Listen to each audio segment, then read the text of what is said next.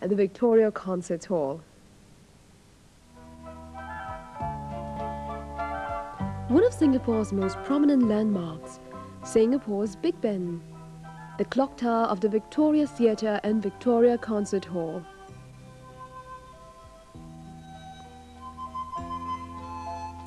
The position of the theatre and concert hall in the midst of the government offices can be explained. The Victoria Theatre, which is older than the concert hall, was built as a town hall. Victoria Theatre, the old town hall, was designed, as with most buildings in Singapore of that time, by a civil and mechanical engineer, John Bennett, in the neo-classical style very popular then. The town hall served as a place for public meetings, dances, and other social functions, even amateur theatre. This caused problems as desks and chairs had to be moved for stage performances. The municipal council bowed out. So when the idea for a proper theatre came in in 1901, it was proposed to convert the town hall into a theatre and a memorial hall be built to mark the Diamond Jubilee of Queen Victoria. So the Victoria Memorial Hall was built in 1902. The architects, none other than Swan and McLaren, responsible for so many other historical landmarks here. The Victoria Memorial Hall for many years, the venue for musical recitals, orchestral and choral concerts, was in disrepair by the 70s. But it was given a new lease of life when the hall was reopened as the Victoria Concert Hall in 1980. Today, the elegant concert hall is a home of our very own symphony orchestra, the stage thread by many talented musicians from all over the world. And while the concert hall is a stage for musicians, the Victoria Theatre is where the dancers and thespians take the limelight. On this theatre stage, the Watford Palace Theatre and the American Repertory Company have played. The Washington Ballet danced. But it's also the stage for local amateur talent.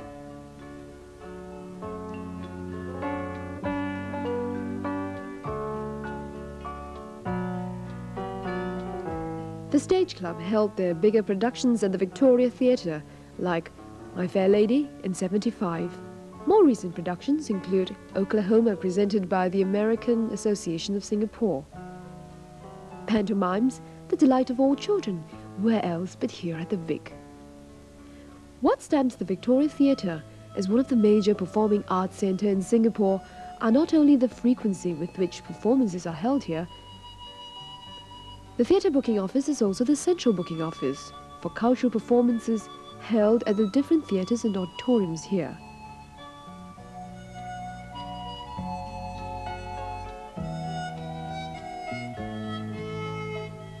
the Victoria Theatre and the Victoria Concert Hall, with a statue of the founder of Singapore, Sir Stamford Raffles in front, overlooking the bustling waterfront, the hub of cultural activities in Singapore, a fitting cultural landmark.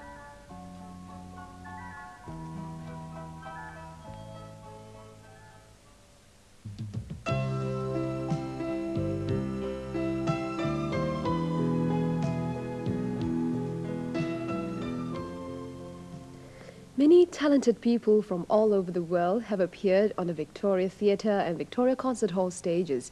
Among them, concert pianists Toh Chee Hung and Dennis Lee. They performed at the Victoria Concert Hall not a few times since it was opened. Both of them are residing in London presently. They talked to Activity about their work as concert pianists during their last visit to Singapore recently. Well, for me, it came I suppose naturally um, there wasn't much angst about having to choose, although there was a very wide choice when I finished my O-levels. But um, I went to London and from there it was a sort of natural flow of events that led me to just choose the piano and then make it as a career. Well, with me, I had always done music at home because my family is quite musical. Then when I was 14, there came a scholarship from the Royal Schools in London, so that was a little bit of a push. And as with Hung, things just developed. But of course, you know, we we had other thoughts as well, and we would like also to think that in life eventually we, we will also be able to do other things. We don't want to go to our graves knowing only how to play the piano.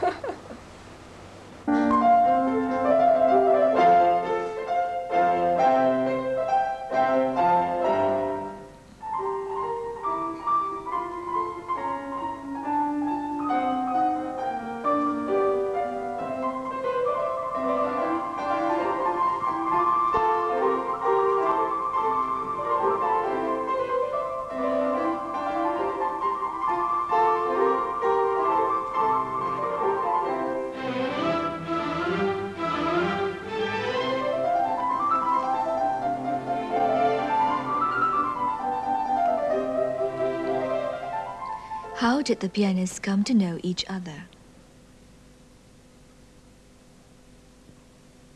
Um, well, how we met, it's, it's, it's long ago when we were both students. I uh, was interested in Lieder and um, played the piano part for his flatmate. And of course, you know, uh, the work that we did with Siu Tuan uh, brought us together.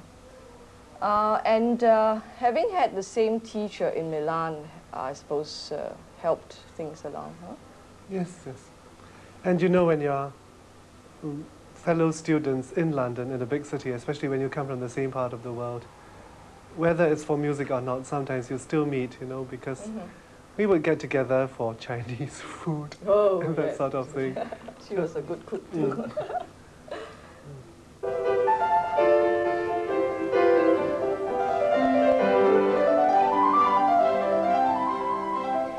Met each other and know each other, what led to their collaboration as a duet?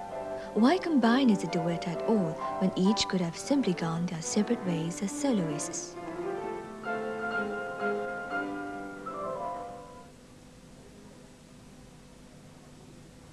Well, because there's such interesting repertoire uh, for four hands and two pianos, and I thought it would be a waste not to be able to perform this too. We get such pleasure out of playing it together.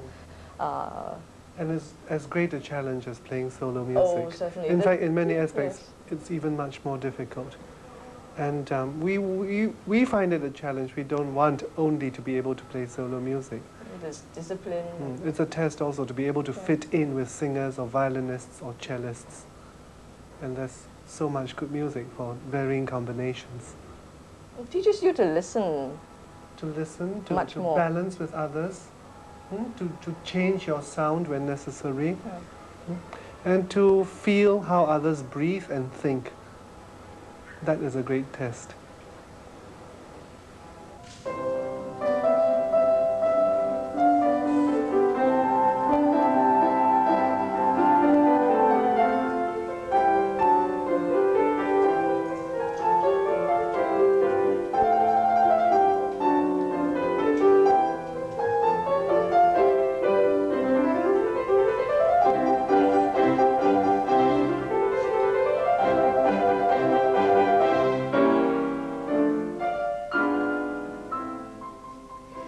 Both pianists have chosen London as their base. They give their reasons for staying abroad in London and the West. Well, first of all, we are going into the field of Western art. So I think you should be quite familiar with the soil from which it sprang. And also, with all due respect, this is still a smallish and limited market. So we don't get the cultural climate, or not enough of it. Though, of course, the fact that there's the orchestra here is already a very positive thing. We have to be constantly stimulated and challenged by listening not only to others, but to lots of others. And this is why London or New York is, is a very exciting place to be in. If we so choose, we can listen to 10 pianists a night. And this is what will keep us on our toes. And it's you- not a case of being selfish, it's a case of self improvement. London, anyway, is a base. It's just a base, and we seem to get around. And I see my family a lot too. And and now with aeroplanes, it's so easy to come back. In fact, we come back sometimes two or three times a year. And being based in London doesn't mean that we forget our Eastern roots. Not at all. I find that, you know, having been away so long, I've become even more Chinese because a lot of my European friends are interested and ask interesting questions, and you feel that you have to really be much more aware of your heritage. Of course, when we grew up here, you know, in Penang Um, and in Singapore, we yeah. took for granted a lot of things and we were not appreciative enough. Yes, and now they are in good perspective. And seeing things from a different angle, you, you learn something, I think.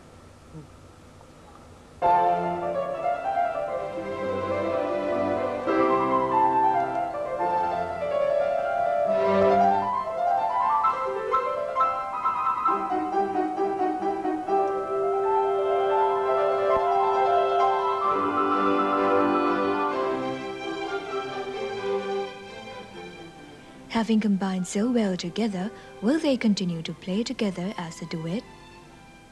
As long as there are opportunities to perform, uh, we will do so. But we don't want to be branded as just duetists because originally we were soloists in our own right too. And we don't want people to think that one thing is inferior or superior to another. Music is music and one should be happy playing it. The main thing is to play it well. It doesn't really matter what kind of thing you play. And um, we hope by doing duo work we can enrich our own solo work.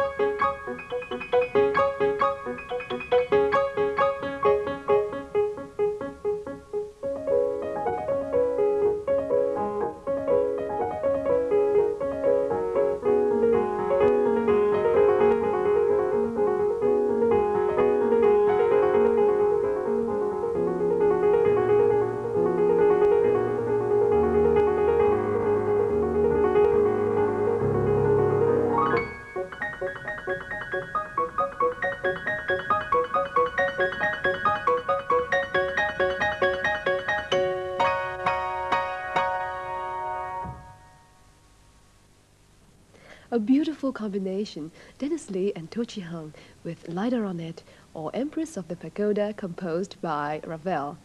And now we move on into the country with this cheerful flute duet by Tay Soo Hock and Teo Chiap Chye.